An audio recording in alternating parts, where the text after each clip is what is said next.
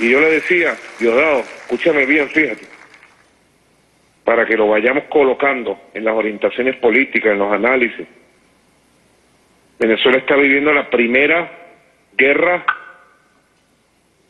de dimensiones no convencionales que pretende imponerse a través de los servicios públicos para un cambio de régimen dirigido desde los Estados Unidos. Es la primera guerra de carácter eléctrico, cibernética, electromagnética y física para derrocar a un gobierno democrático y legítimo, hacer un cambio de régimen e imponer el caos y la dominación de un país estratégico con la mayor reserva petrolera del mundo como es Venezuela, quien en este momento preside la OPEP con un liderazgo firme en los países del tercer mundo. Venezuela, la Venezuela bolivariana. Es la primera guerra, Diosdado.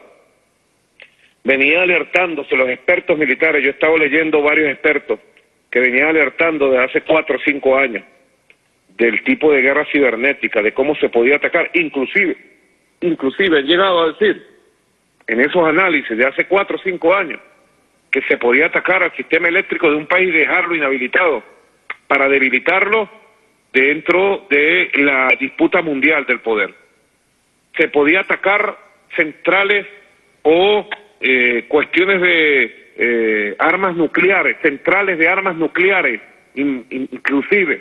Activarla. Venezuela, Diosdado, está demostrando al mundo que es un campo de ensayo de nuevas armas de guerra cibernética, electromagnética y de una nueva estrategia de guerra, que no es la invasión directa o el bombardeo a través de misiles y de aviones, sino el bombardeo y la destrucción del servicio público vital de la gente para que la gente entre en fases de caos, pueblo contra pueblo, guerra de perros, como llaman, y ellos entrar entonces a dominar al país.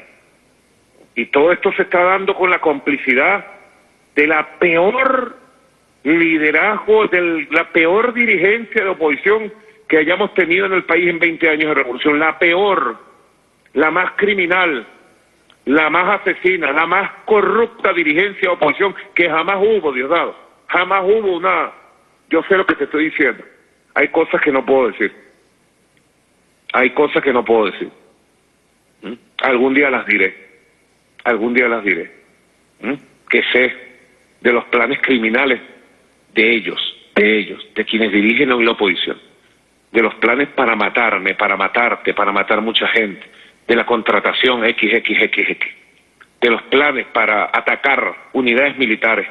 He puesto en situación de alerta las unidades militares del país, máxima inteligencia y contrainteligencia, y se lo digo al pueblo, de los planes criminales. Nunca antes, en 20 años de revolución, tuvimos un núcleo dominante, un núcleo dirigente de la oposición con un sentimiento, con una visión tan criminal, tan asesina, tan falta de ética.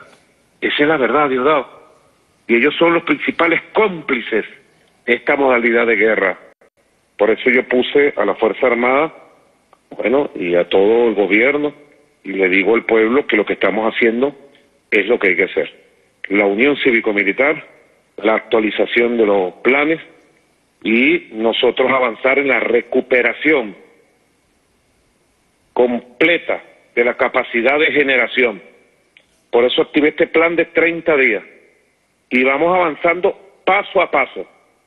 No voy a engañar a nadie, la situación es grave, pero vamos avanzando paso a paso garantizando lo fundamental para el pueblo.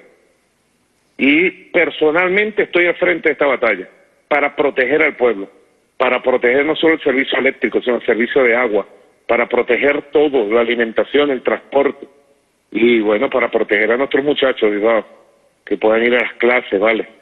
Para proteger a los trabajadores que salgan a producir y para que el país vaya recuperando y vaya ganando esta batalla de esta guerra eléctrica única en la historia de Venezuela y es la primera guerra de estas características en la nueva historia de los conflictos mundiales de aquí en adelante.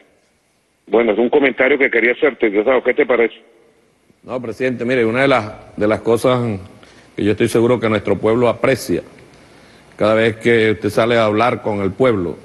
Primero que saben que le está hablando un hombre como, como es el pueblo, un hombre del pueblo. sin caerles a mentiras, sin caerles a coba, diciéndole la verdad. Usted nos ha dicho a todos que nos preparemos. Un día inclusive yo hice la infidencia, estábamos en una reunión y usted dijo, no hallo cómo decir, pero hay que decirlo el tema aquel de que la gente debe estar preparada, tener un radio, tener pilas, tener velas en la casa, tener un botellón de agua.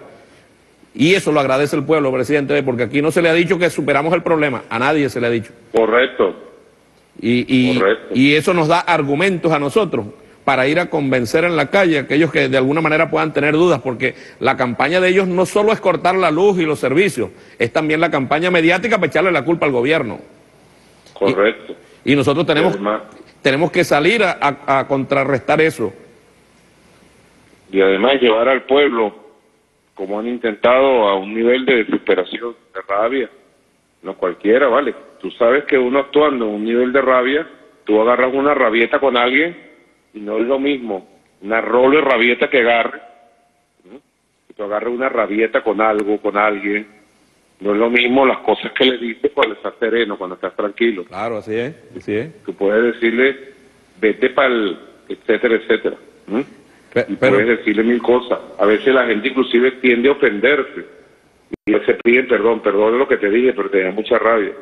Han tratado de llevar una rabia colectiva, a una desesperación, a una situación del pueblo ciego, ciego, de rabia, para que haya un enfrentamiento entre venezolanos, haya violencia. Y el pueblo ha tenido la conciencia que ha sabido manejar su rabia, ha sabido manejar su impotencia, ha sabido manejar su necesidad.